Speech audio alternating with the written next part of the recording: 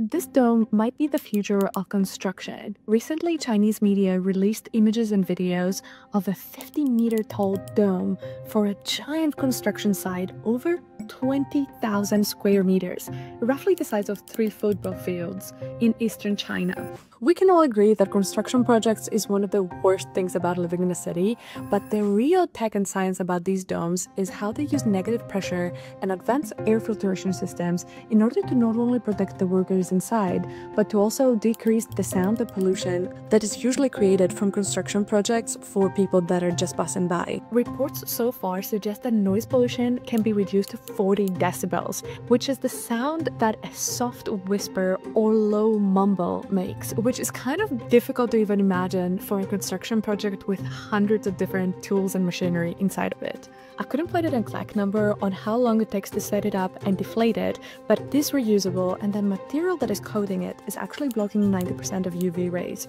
I don't think that would be a particularly nice environment to be working in day in and day out as it could be quite dark, but it is a net positive for construction workers that have to deal with sun exposure every single day. So if you live in a city and you don't particularly enjoy construction, what do you think the biggest advantage of this technology is?